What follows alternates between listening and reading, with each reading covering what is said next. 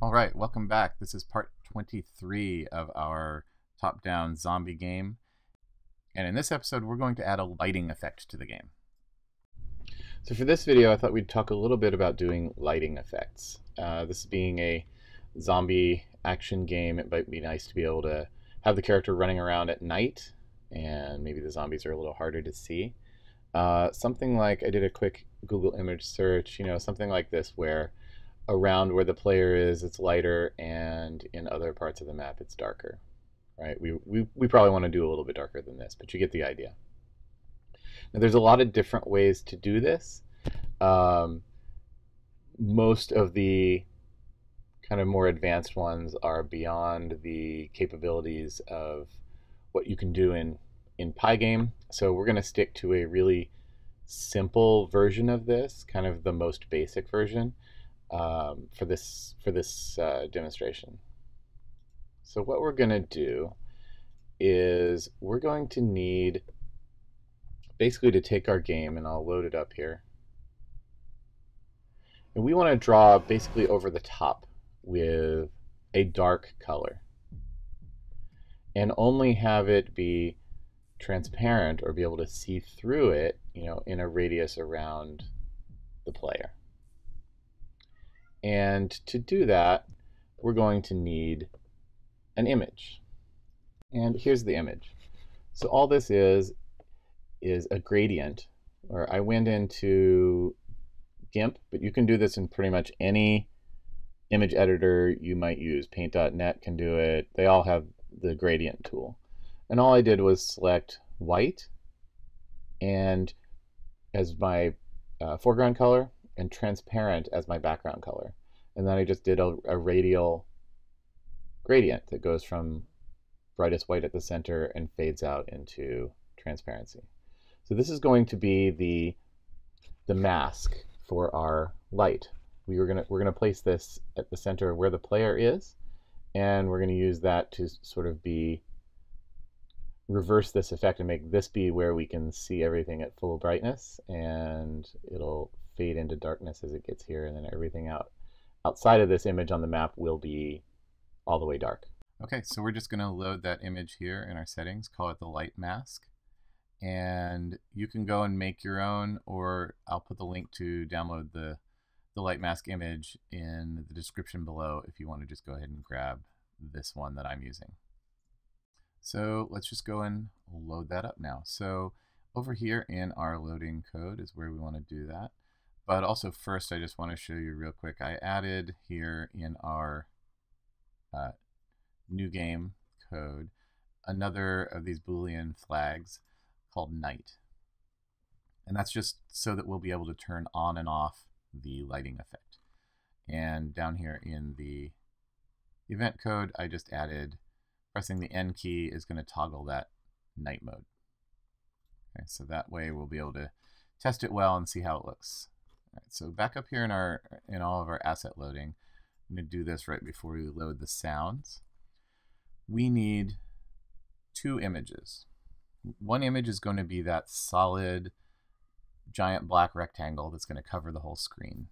And if you've ever played a like a military strategy game that had a fog of war. That's what it's usually called. The fog of war the the part that darkens the areas you can't see. So we're just going to call that fog. Um, and that's just going to be a Pygame surface that's the same size as the screen because it's going to cover the whole screen. And then we want to fill that with that night color, that dark gray that we chose in our settings. Okay, and then we need to load the that light mask. And the light mask, we're just going to do a pg image.load. So I'm just going to grab this one right here. And the thing we're going to load is the light mask. And we also want to uh, resize this so that we'll be able to adjust its size, right? So we're going to scale this by the light radius setting we set as well. And then the last thing we need is we're going to need a rectangle so that we can easily place this where we want it to be. So we get the rectangle. All right, so now we got everything loaded that we need. So now to draw this, what we have to do is take this light mask and blend it onto the fog at the location of the player, and then take the whole fog and stick it on the screen on top of everything else, which means we want to draw it towards the end. So if we've got a draw section, we want to draw it after we've drawn all the sprites and everything, but probably before uh, we draw our HUD so that we can still see things. So we're going to do that here. So if night is true, we're going to render the fog. Okay, and so let's just define what that process is. So render fog needs to do a couple of things, right? We need to um, we need to draw the light mask, which is a gradient, onto the um, fog image, right? Now, every frame we're going to have to do this because the player is moving around. So last frame we will have drawn the light mask onto the fog. So we need to um, take the fog and fill it again with our night color. And then we need to take figure out where our um, circle of light needs to go. So we'll take our light rect dot center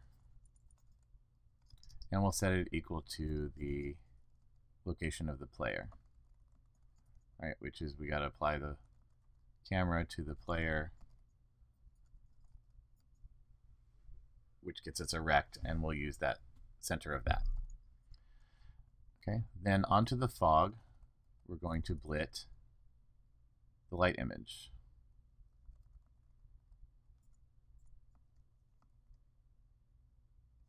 oh sorry, the light mask, I mean. We're going to blit that at the location. Okay, so now we have our fog image, and it's going to be a big dark gray rectangle with a light white uh, gradient circle somewhere, right? So it's going to look kind of a lot like this now. The back it'll be darker, but this is what it's going to look like. And if we just draw that on the screen, we'll see a big white circle on top of our player. So what we want to do is when we draw this on the screen, right, when we put that fog image onto the screen, right, we're going to put it at 0, 0 because it's going to cover the whole screen, so it's going to start in the upper left-hand corner.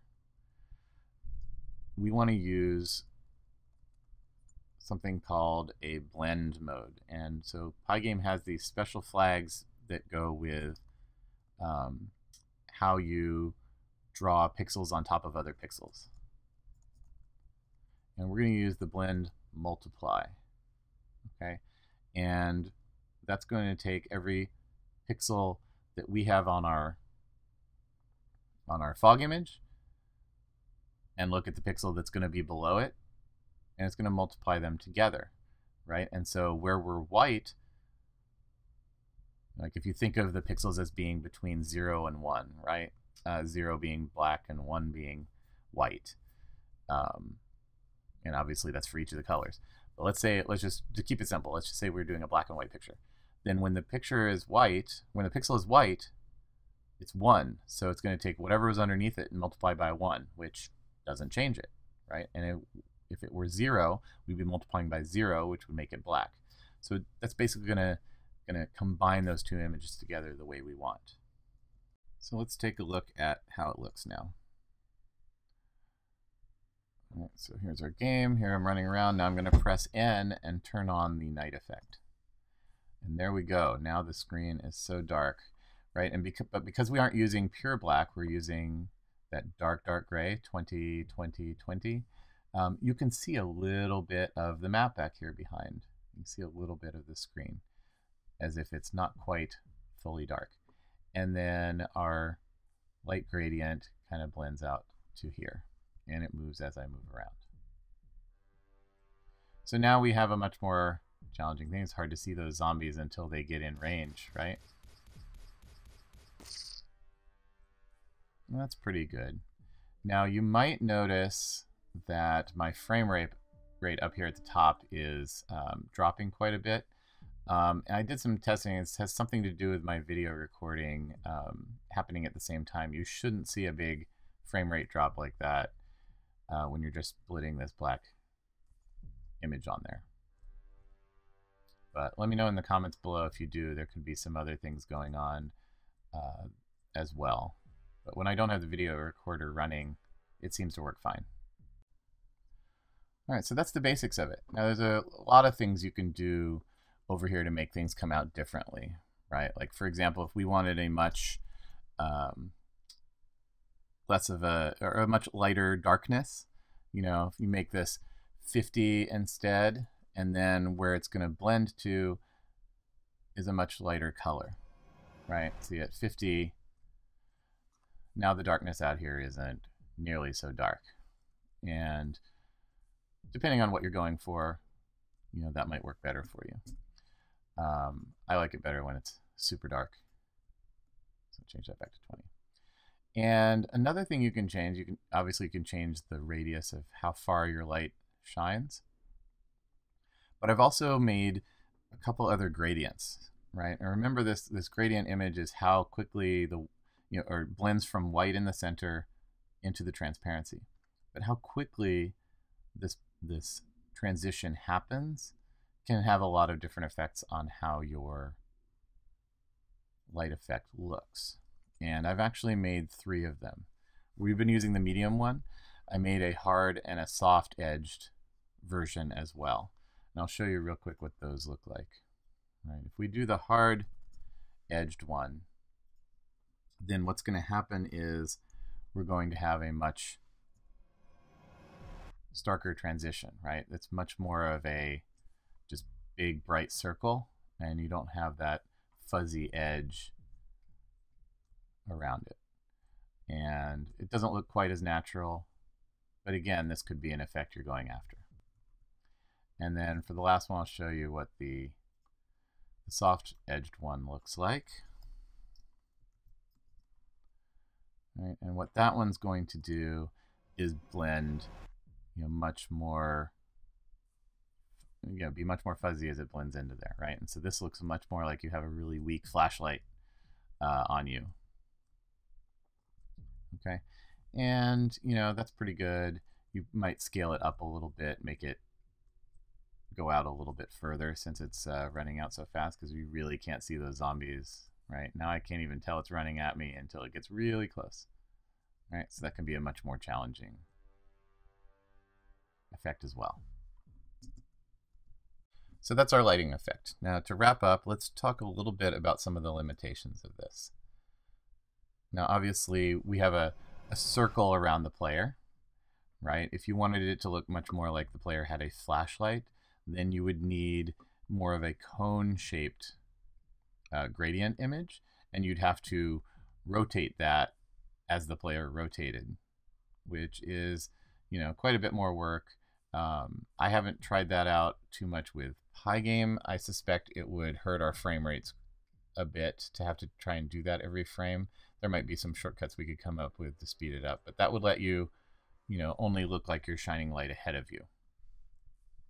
The other uh, problem we have is that because we're just blitting this light circle on top of the player, when I stand next to a wall, it's going to light up the inside of the house, right? Because the, the circle just doesn't know anything about obstacles, right? And that is something much more involved you know, I have here an example of how you do, you know, you want something like this where the light comes out of you and goes, leaves shadows around obstacles. Um, another example is here, right? As you move around, your light is blocked by walls. And, you know, while this is doable, it's a, it's a whole lot more code involved and a whole lot more difficult to do.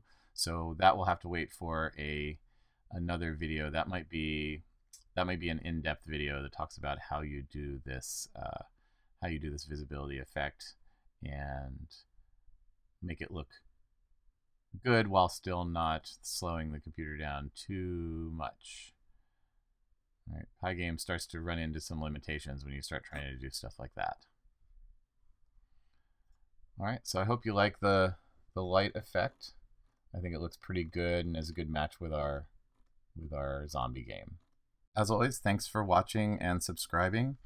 And I think that we're we're nearing the end of our zombie game project. I think we'll uh, we'll be calling it done pretty soon. Maybe maybe add one or two more things, but um, please feel free to comment in the comments below if you have any suggestions on what kind of things you'd like to see next, uh, what kind of games you'd like to make, uh, anything like that. Please do post it, and we can we can figure out what else uh, everybody wants to see. All right, thanks for watching, and I'll see you next time. Bye bye.